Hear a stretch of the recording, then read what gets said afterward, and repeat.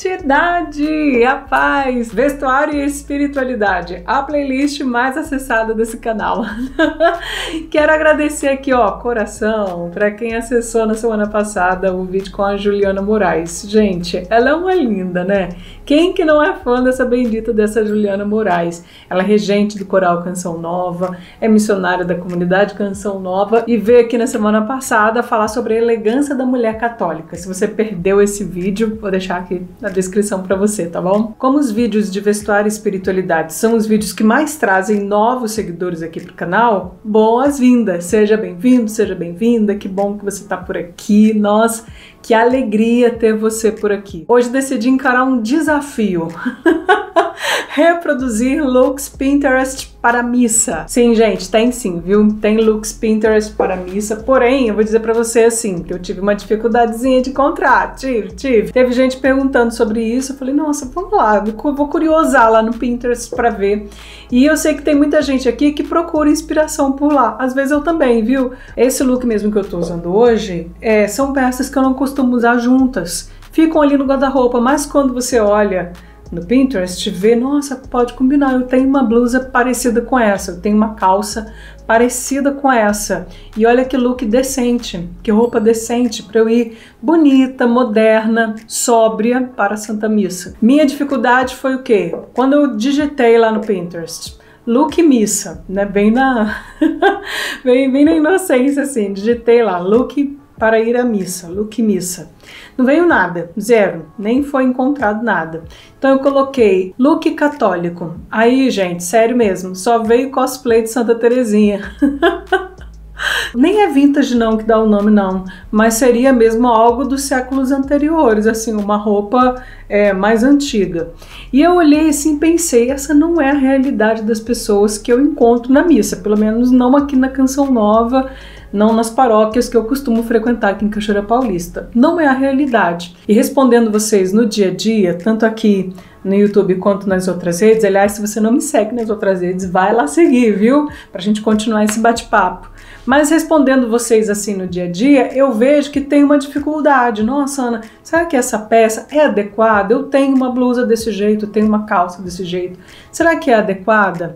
Às vezes as pessoas dizem assim: ah, mas é que eu não tenho dinheiro para renovar meu guarda-roupas. Tive uma mudança de vida radical, uma transformação de vida, um encontro pessoal com Jesus. E hoje eu percebo que as roupas que eu costumava usar para ir à Santa Missa, eu tenho vergonha delas. O que é que eu faço? Me ajuda. Essa foi a inspiração para que hoje eu estivesse aqui gravando esse vídeo de looks para a Santa Missa. Antes da gente continuar esse assunto, eu preciso dizer duas confusões que sempre fazem sobre a minha pessoa. Primeiro, eu não sou uma personal stylist. Tem muitas pessoas aqui que fazem esse serviço e é um serviço que eu aprecio, porém não é o meu. Eu não sou o tipo de pessoa que vai te dizer assim: "Ah, você quer plus size, se você usar o cos da sua calça em determinada altura, isso vai melhorar a sua silhueta, você vai ficar mais elegante, mais bonito". Não, eu não sou essa pessoa. Eu não tô aqui para dizer o que que tá na moda, o que favorece o seu corpo, o que não tá. Eu tô aqui para abordar sobre o que é decente e o que é indecente, porque são parâmetros que hoje em dia estão muito confusos na cabeça das pessoas, porque tudo se tornou normal, inclusive para ir à Santa Missa. Outra coisa, outra confusão que vocês fazem muito. A Ana é a que fala sobre modéstia, é a embaixadora da modéstia. Também não sou, porque hoje em dia o significado da palavra modéstia também é muito confuso na cabeça das pessoas. Não se trata só da forma como eu me visto, se trata da forma como eu vivo e que vai refletir no jeito que eu me visto, sabe? Se você for observar bem assim as playlists aqui do canal, aliás, lá no topo do canal tem playlists, viu? Você vai ver que a gente fala sobre espiritualidade, uma vez vivendo mais perto de Deus, uma vez cultivando uma vida de intimidade com Deus no dia a dia, a nossa forma de viver muda, a nossa forma de falar, a nossa forma de se relacionar, as nossas amizades, os lugares onde a gente vai, as músicas que a gente escuta, as roupas que a gente veste também. E por que não? Então, Então é mais do que a Ana é uma personal stylist ou a Ana é uma embaixadora da modéstia. Não sou. Eu tô aqui para te falar que nem tudo é normal, que existe o decente e o indecente e que hoje em dia existe uma linha quase que invisível entre esses dois parâmetros e que na cabeça da mulher católica é algo cada vez mais inatingível, cada vez mais confuso. Eu venho aqui para te ajudar, para te esclarecer. Para isso que eu tô aqui. Eu sei que vocês gostam muito de acessar o Pinterest. Eu também é um aplicativo quem não conhece, acho que poucas pessoas aqui não conhecem, mas se você não conhece, vale a pena você acessar o Pinterest que é um aplicativo que traz assim vários tipos de coisa, fala de várias coisas, tudo ao mesmo tempo agora, mas que também fala muito sobre moda. Então eu quero assim um look domingo no parque. Você vai lá digita domingo no parque, vai ver um look domingo no parque. Ah, eu quero um look romântico, uma roupa de tendência romântica. Você vai lá uma blusa romântica, vai vir lá vários tipos de blusa romântica. Você diz: "Nossa, aquela blusa que eu tenho no meu guarda-roupa tem esse estilo e eu não sabia, então eu posso usar". Então eu fiz essa experiência, coloquei lá, eu quero um look para ir na missa. Cri, cri, cri, não vem nada. Aí eu coloquei, eu quero um look católico, só veio os cosplay de Santa Terezinha. Porém, quando eu fui adiantando um pouquinho mais para cima, foram vindo coisas que estão mais dentro da minha realidade, das realidades das paróquias. Gente, eu frequento paróquias em Cachoeira Paulista, viu? Não é só na Canção Nova, não. Aliás, eu vou a poucas missas na Canção Nova. Eu frequento muito uma paróquia aqui perto de casa, que é num bairro é, bem afastado de Cachoeira Paulista, já quase na divisa com Cruzeiro. Eu frequento essa paróquia, Nossa Senhora da Conceição, e frequento muito a paróquia São Sebastião, que é no centro da cidade, que é mais perto do meu trabalho dá para eu ir caminhando quando eu estou no trabalho para ir caminhando para Santa Missa. Então eu vejo a forma como as pessoas se vestem. Eu vejo a normalidade do indecente, no vestuário da mulher católica hoje, para ela tá tudo normal. Seja aquelas que acabaram de chegar na igreja, talvez você esteja nessa, nessa situação. Acabei de voltar para a fé católica, ou seja, aquelas que já estão lá há muito tempo, mas que não se tocaram. Então tô aqui para te ajudar, tô aqui para te ajudar. Subindo a barra de rolagem do meu Pinterest para looks católicos, encontrei alguns que eu acho que vão te ajudar. Mais do que encontrar esses looks, eu decidi que eu ia reproduzir com aquilo que eu tenho dentro do meu guarda-roupas. Veja bem, gente, eu não saí para comprar nenhuma peça, são roupas que eu tenho dentro do meu guarda-roupas e que ao olhar ali no aplicativo eu pensei, poxa vida, podia ter combinado dessa forma e nunca combinei, porque que eu nunca pensei nisso? Uma roupa bonita para ir à Santa Missa, para trabalhar, para ir à feira, enfim, do que você precisar, né? O primeiro é este que eu estou vestindo. Deixa eu chegar aqui pro lado, porque aí eu vou colocando aqui para você a foto original desse look. Olha que interessante, gente porque ela tá com uma calça é, cenoura, né? E uma camisa, ó, eu encontrei uma camisa preta. Detalhe que eu preciso te contar, né? Que vocês perguntam muito, Ana, a minha blusa tem uma ligeira transparência. Será que eu posso usá-la para ir à Santa Missa? Olha, gente, a grossura da blusa que eu coloquei por baixo, viu? Ó, a alça dela deve ter quase a largura da minha mão toda para poder colocar aqui embaixo. Tem um problema eu usar uma blusa, essa blusa, ó, deixa eu mostrar de pertinho para vocês verem. Ela tem uma ligeira transparência. Tem problema usar? Não. Porém, ó, ela é uma blusa composta tá aqui embaixo, sabe? Não vai ficar mostrando nada. Diferente de eu chegar aqui embaixo e colocar uma blusa fininha, de alça fininha, sabe? A da inspiração aí, como vocês podem ver, ela nem é transparente. Essa foi aqui, foi mais semelhante. Aliás, essa blusa aqui veio de uma carioca, um beijinho para ela. Foi um presente de uma amiga carioca, uma vocacionada da comunidade Canção Nova lá no Rio de Janeiro. E foi a blusa que eu achei similar. Essa calça que eu tô usando aí nesse look é uma calça pantalona. Porém, existe esse trucão. Você pode fazer esse trucão para poder dobrar a barra da sua calça, ela não ficar arrastando no chão, ou então mudar, né? Para mudar, a gente tem vontade de usar uma peça de várias formas, então para mudar, né? Tá aí um, uma dica para as baixinhas. Dá uma dobradinha na barra da calça, dá uma dobradinha na barra da blusa, né? Que dá aquela bossa no look. tá aí o meu primeiro look para ir à Santa Missa. Posso ir assim à Santa Missa? Posso. Atenção ao tamanho da abertura que você vai colocar na sua gola. Ela precisa ser uma gola composta, tá? Precisa fechar até aqui em cima. Não é para você deixar tudo aberto, tá? Você usa com a golinha assim ajeitadinha e fechadinha até aqui Combinado. Outra coisa interessante que a modelo usou aí é que ela deixou a beirada da camisa, essa aqui em mim não dá, porque essa aqui é curta, mas ela deixou a camisa dela mais comprida, ela deixou tapando o bumbum. Ótima iniciativa. Outro look aí que eu gostei muito, esse da saia de poazinho, né? A saia dela aí, se não me engano, é de poazinho, a minha é de pintinhas. Mas a padronagem é muito semelhante, né? Gostei, porque é legal quando você encontra uma forma de usar uma roupa que tá até meio que encostada ali no seu guarda-roupas que você acha que não vai usar mais, né? E é também de você se produzir um pouco mais, ainda mais quando é missa de domingo, porque a gente pode até é, se acostumar a pegar sempre as mesmas roupas, usar sempre da mesma forma, aquilo que tá no teu guarda-roupas, e aí você começa a achar, ah, eu preciso comprar roupa nova, eu preciso. Não, é aquilo que você já tem aí no seu guarda-roupas. Gostei muito dessa proposta. Eu gosto muito de camisetinhas assim. Eu não tenho muitas, mas uso muito camisetinhas assim, porque elas são confortáveis, por baixo de uma jaqueta ou de um casacão, né? Agora que tá frio aqui de manhãzinha, tá bem frio. Então, por baixo de um casaco mais rechonchudo, né? De calça, de saia, essa, esse tipo de camiseta de algodão, assim, dá super certo para você compor um look e você ficar é, vestida de uma forma confortável e sóbria e elegante também, né? Tem desse tipo de camiseta com a golinha V. Tem gente que pergunta, Ana, não devo usar gola V? Não, você pode usar. Aliás, eu acho até que alonga para quem é baixinha, né? Aquela dica de stylist, né? Alonga para quem é baixinha. Porém, é difícil para mim, como eu sou baixinha, encontrar uma gola V que acabe tipo assim, por aqui, ó. Acho que eu tenho uma só ou duas.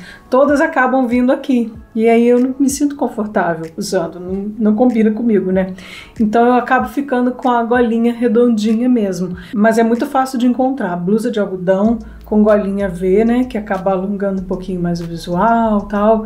E fica bonito, né? Ah, quero ir bonita. Senão a gente acaba indo pra missa como você vai na feira, como você vai no supermercado. E não, a gente precisa dar um grauzinho, viu? Tô indo pra missa, então precisa arrumar o cabelo, passar um batonzinho. Por que que não? Pode passar assim, viu? E esse look aí da saia de pozinho, eu achei super delicado. Ela tá aí usando uma sandália e uma bolsa colorida. Eu tenho super dificuldade, viu, gente, de usar bolsas pequenas assim, bolsas coloridas, porque geralmente eu saio como? Com equipamento, com carregador, com bateria de iluminação, tripé, tudo dentro da mochila. É verdade, essa é a minha verdade, viu? Ando eu sempre com um mochilão, laptop. Geralmente eu acabo carregando o laptop. Deu uma brechinha, eu tô ali editando vídeo para vocês, então é difícil para mim usar uma bolsinha assim, bonitinha de mão.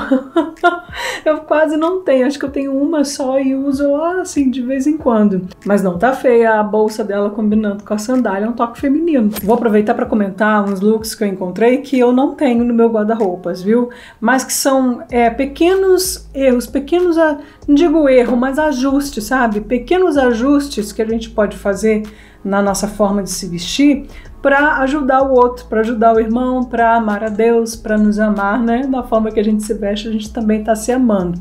Vou deixar aqui, ó, esse look que eu encontrei, a moça tá com uma saia, ela tá super é, alinhada, né? Uma camisa parecida com aquela que eu usei no primeiro look, uma camisa preta, é, de um pano mais fino, com um sapato de bico fino tal. E ela colocou essa saia. Eu quero que você tenha atenção se você tem esse tipo de saia no seu guarda-roupas. Tá vendo que é uma saia lápis, é uma saia que está na altura do joelho, porém é uma saia que marca muito o corpo dela. Dá para ver nitidamente o contorno da coxa dela. Dá para ver aqui na foto que a saia tá levemente transparente, né? Então a gente precisa tomar cuidado com isso. Se a saia tá marcando tanto assim o corpo dela de frente, imagina de costa.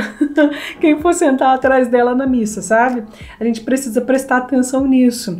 Esses dias, uma moça que canta num grupo de música né, na paróquia disse: Ai, Ana, às vezes eu vejo as minhas companheiras de é, que cantam também comigo na missa, usando um tipo de, eu não sei que tipo que é, né? Um tipo de malha que é muito fininha e que marca a roupa íntima. A gente precisa tomar cuidado com isso. Essa saia dessa moça é uma saia que tá justa, você tá vendo? Talvez se ela usasse uma nágua e uns dois números para cima, a saia ficasse bonita e elegante para ela, né? São ajustes, tá vendo? Pequenos, né? Dessa moça que ela tá falando que tem a, a, a companheira que canta também no grupo da missa com ela e que ela vê que marca muito a peça íntima. Duas coisas você pode fazer. Se a roupa não está apertada, se a roupa não está curta, se a roupa não é transparente, existem uns shortinhos que eu confesso a você que eu acho muito desconfortável usar. É um shortinho, tipo de compressão que se usa por dentro, né? Porque aí a sua peça íntima não vai marcar na sua roupa. Porém, também você pode usar uma nágua, você pode usar uma peça íntima sem costura, que isso vai ajudar bastante. Eu gosto muito de peça íntima sem costura. Isso me ajuda muito, acredito que pode ajudar você também. Às vezes nem é preciso, às vezes não, não é preciso que a peça esteja justa para mostrar, para marcar a costura da sua peça íntima. Mas basta que ela esteja ali e o tipo de pano, às vezes é uma malha mais fininha, uma viscosa, uma seda, e vai mostrar, né? Então o truque do shortinho, para mim, só em casos extremos para usar, né? Eu prefiro não ter roupa assim no meu guarda-roupas para não ter que usar o bendito do shortinho, porque eu me sinto abafada, me sinto apertada, não gosto. Ou usar a peça íntima que não tem costura. Existe bastante no mercado e o preço é bem acessível também. O que dizer desse próximo look? Sabe aquela combinação que você nunca pensou que você tem no guarda-roupa? Gente, eu vou fazer mais vídeo como esse porque tá sendo bom para mim. amando esse tipo de vídeo, vou fazer outras vezes. Até me deu vontade, aí eu não posso eh, me comprometer com coisas que eu não vou conseguir fazer, de fazer uma pasta, né? Look católico ou look para missa lá no Pinterest. Se eu fizesse, eu me encorajar com isso aí, eu mostro para vocês, tá? Eu coloco o link nos próximos vídeos para vocês. Olha só, gente, esse vestido, ele é um vestido sem mangas, foi minha mãe que fez esse vestido, eu sou apaixonada por esse vestido, porque realmente ele não é curto, ele não é transparente, ele não é decotado, ele tem um decote, ó, tá vendo aqui, ó, na medida certa, um decote V na medida certa, e essa. E essa camisa é uma camisa branca que eu ganhei, ela tem uma super qualidade, ganhei da minha amiga Josi, um beijo para Josi.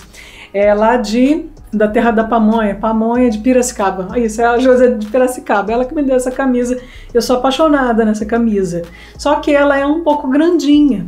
Usando desse jeito, ó, com a manga é, dobrada, com é, você viu que eu coloquei aqui para trás um pouquinho, você dobra ela um pouquinho na parte de trás, né, para não ficar com ar desleixado seu look, e um nozinho na parte da frente. Dá até para deixar assim, né, a blusa desabotoada, porque o decote de dentro tá super Ok. A inspiração para esse look foi essa foto, ó. Deixa eu colocar ela aqui para você ver.